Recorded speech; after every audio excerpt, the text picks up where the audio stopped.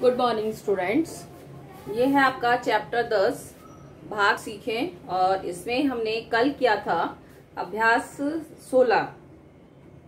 भागफल संख्याओं का भागफल ज्ञात कीजिए। और आज हम करेंगे पेज नंबर तैतीस है आपकी, और इसमें अभ्यास सत्रह आज हम करेंगे। नीचे दी गई संख्याओं का भागफल ज्ञात कीजिए। आपका ये पेज नंबर तैतीस है ये, और एक्सरसाइज सत्रह। ठीक है? तो इसमें भी क्या संख्याओं का भागफल ज्ञात करना है? जो हमने पिछला जो क्या था अभ्यास सोलह इसमें दो अंकों की संख्याओं को भाग दिया था और इसमें है आपका तीन अंकों की संख्याओं को भाग देना है। तो देखिए कैसे देंगे? आ, संख्याओं का संख्याओं का भागफल ज्ञात कर कीजिए। ज्ञात करो। तो देखिए, इसमें कैसे करेंगे? पाँच को भाग देना है नौ से। फिर पाँच को भाग देंगे हम दो से। पाँच को भाग देंगे हम। दो से।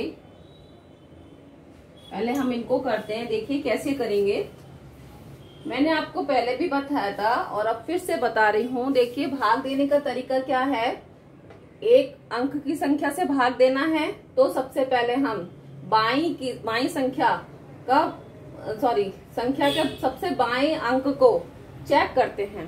तो बाएँ अंक क्या है यहाँ पर? पाँच। और पाँच इससे छोटा है, नौ से छोटा है दिख रहा है। तो ऐसी कंडीशन में हम फिर दो अंकों का प्रयोग। अगर इससे ये अंक बड़ा होता तो हम इसको भाग दे देते। लेकिन ये छोटा है पाँच तो हम चौवन का प्रयोग करेंगे। अब देखिए, नौ की टेबल में चौवन कहाँ आता है? नौ, छ, चौवन। तो हम यहाँ क्या लिखेंगे? छ और ये चौवन। घटाया तो क्या जाएगा यहाँ पर? शून्य। अब हम नौ को नीचे लेके आएँगे। अब नौ एकम नौ घटाया शून्य हो गया। अब भागफल इसका क्या आया? इकसठ। ऐसे ही नंबर दो है। अब दो से देखो। अब यहाँ पे फिर हम ये यहाँ पहला अंक चेक किया, वो क्या है? पाँच। तो पाँच देखिए, दो से बड़ा है तो हम पाँच को भाग दे सकते हैं। बड़ी संख्या को भाग दे सकते हैं। अब दो की टेबल में देखिए, पाँच आता है क्या? पाँच नहीं आता। तो पाँच से जस्ट पहले कौन सा अंक आता है? दो की टेबल में। दो दुनी चार। ठीक है? और दो तीन छह छह हो जाएगा पाँच से बड़ा। हमें उससे पहले का नंबर लेना है। तो हम यहाँ क्या लिखेंगे? दो दुनी चार। घटाया तो क्या है यहाँ पर? एक। और ये सात नीचे आ गया। अभी क्या बन गया? सत्रह। अब सत्रह देखिए, दो की टेबल में आता है क्या? नहीं आता। नहीं आता ना? तो सत्रह से पहले दो की टेबल में कौन सा अंक आ रहा है? दो, अठ, सोलह। क्या आ रहा है? दो, अठ, सोलह। घटाया तो यहाँ पे क्या आया? एक। अब आठ को हम नीचे लेके आए। अब अठारह देखिए, दो की टेबल में आता है आता है। दो नाम, अठारह। दो नाम, अठारह। घटाया और ये शून्य हो गया। ठीक है? ऐसे ही इसको देखिए, पाँच सौ चौरानवे को हम दो से भाग देंगे। पहला अंक यहाँ पे क्या है? पाँच। अब पाँच दो की टेबल में नहीं आता, लेकिन बड़ा है। तो दो की टेबल में पाँच से पहले कौन सा अंक आया? दो दुनी चार। घटाया तो क्या आया? एक। अब नौ को हम नीचे लेके आएँगे। ये क्या हो गया? उन्नीस। क्या हुआ? उन्नीस। अब नौ, दो के पहाड़े में उन्नीस नहीं आता तो क्या आता है उससे पहले? अठारह। तो हम यहाँ क्या लिखेंगे? दो नाम, अठारह। घटाया तो क्या आया? एक। ये चार को नीचे लेके आया ये क्या बन गया? चौदह।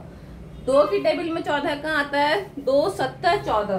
कहाँ आता है? दो सत्तर चौदह। घटाया, आ गया शून्य। यानी भागफल इसका क्या रहा? दो सौ सत्तानवे। तो ये इस तरह से आपको ये टेबल भाग देना है और संख्याओं का भागफल ज्ञात करना है। तो ये तो आपको समझ में आ गए होंगे। फिर देखिए 625 को हम भाग देते हैं। 625 को हम भाग देंगे पाँच से। देखिए, पहली संख्या यहाँ पे क्या है? छह। और छह पाँच से बड़ी है तो हम क्या करेंगे? पाँच एकम पाँच। पाँच एकम पाँच घटाए तो क्या बचा यहाँ पे? एक। अब ये दो को हम नीचे लेके आए, ये क्या बन गया? बारह। बारह देखिए, पाँच की टेबल में आता है, नहीं आता तो क्या आएगा? पाँच गुनी दस।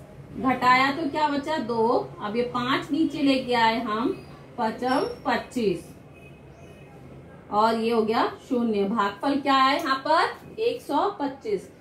इस तरह से आपको ये करना होगा। आपके समझ में आ गया होगा। ऐसे ही देखिए, अपन करते हैं तीन सौ चौसठ को अब भाग देते हैं हम। तीन सौ चौसठ को भाग दे रहे हैं हम। किससे देंगे? सात से। आप देखिए, पहला अंक क्या है? तीन। तीन सात से छोटा है। अब ऐसी कंडीशन में हम क्या करेंगे? दो अंक का यूज़ करेंगे। वो क्या है? छत्तीस। अब सात की टेबल में छत्तीस नहीं आता। छत्तीस से पहले कौन सा अंक संख्या आती है? सात पंज पैतीस। क्या आता है? सात पंज पैतीस। घटाया तो क्या बचा? एक। और ये चार को नीचे लाए, ये क्या हो गया? चौदह। सात दुनी चौदह। तो इस तरह से ये हो गया शून्य। कहने का मतलब यह है, इस तरह से आपको ये क्वेश्चन तो समझ में आ गए होंगे। आपको ये तो अपनी नोटबुक में करना ही करना है। अभी आप इतना ही करिए और आपके ये हो गई फ़र्स्ट लाइन हुई है। सेकंड लाइन इसमें आप खुद करेंगे। अब आप खुद भी कोशिश कीजिए, भाग सीख रहे हैं ना? अभी आपको ज़्यादा नहीं करना, ये तो आपको करना है। और इसकी सेकंड लाइन को आप अपनी नोटबुक में अब आप खुद करेंगे। फिर उसके बाद में मैं आपको और मैं कल और करवाऊँगी क्वेश्चन तो आपका होमवर्क क्या है? आ, ये repeat C W repeat C W in your notebook and do second line also ये सेकंड लाइन जो है वो भी आप अपनी नोटबुक में खुद करेंगे अब आप। अब आपको खुद को भी कोशिश करनी है। Repeat C W in notebook ठीक है? और इसकी सेकंड लाइन को भी आप करेंगे अपने नोटबुक में। ठीक है? Thank you